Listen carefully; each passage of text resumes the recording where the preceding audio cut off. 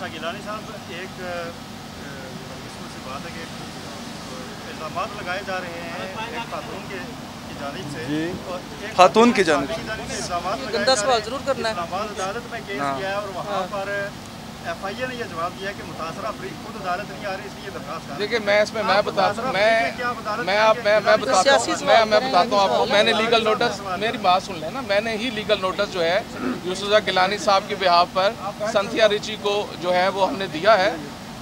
जो उनको हमने एक तो संथिया रिची साहिबा का जो एड्रेस है उस पर भेजा है और एक हमने अमेरिकन एम्बेसी को भी भेजा है लीगल नोटिस तो यकीनन वो इस कॉन्सिक्वेंसेस को फेस करेंगी। इल्ज़ाम लगाना बड़ा आसान होता है। इल्ज़ाम को साबित करना जो है मुश्किल का हमने 10 करोड़ हर जाने का नोटिस उसको भेजा है।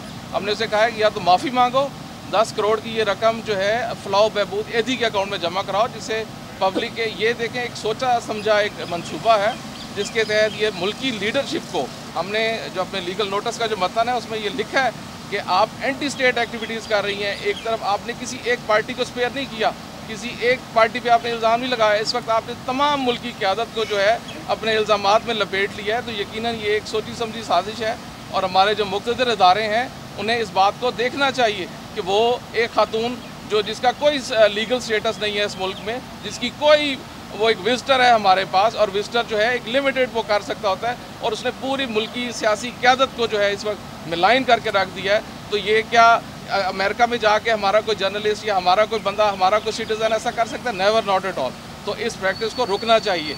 वो जहाँ तक बाईस ए की आप बात कर रहे हैं, बाईस ए में एग्रीड पर्सन का जो एफ़ आई ए ने ऑब्जेक्शन लिया it's absolutely illegal criminal cases का कानून ये है कि कोई भी बंदा, रियासत का कोई भी शहरी उठकर जाकर कंप्लेंट दर्ज करा सकता है। अव्वल तो स्टेट को खुद सो मोटो जो है वो इसका एक्शन लेना चाहिए था अगर उन्होंने नहीं लिया और कोई भी शहरी अगर जाकर उनको कंप्लेंट दर्ज कराता है तो ये उनकी ड्यूटी है। 154 सेक्शन सीआरपीसी के तहत कि वो इसका इस पर कार्रवाई करेंगे और उसके बाद जाकर एफ़ आई ए का जो ये जवाब है ये बाइस्ड है। और यकीनन आप देखिएगा नेक्स्ट डेट ऑफ़ हेयरिंग पे ऑनरेबल कोर्ट उनके इस जवाब को रद्द करते हुए इसके खिलाफ एफ़ आई आर का ऑर्डर करेंगी।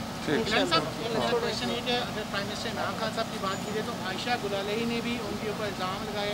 आपके ऊपर भी ऐसे फॉर्मर प्राइम मिनिस्टर इल्ज़ाम कि आप समझते हैं कि ऐसी कोई कानून साजी होनी चाहिए कि सिर्फ़ इल्ज़ाम लगाने वाला इल्ज़ाम लगा के भाग जाता है और एक इलेक्टेड जो प्राइम मिनिस्टर है उसकी रेपुटेशन को ख़राब देता है? देख देखिए पहली बात ये है कि ये ये जो केस है ये नौ साल कबल है।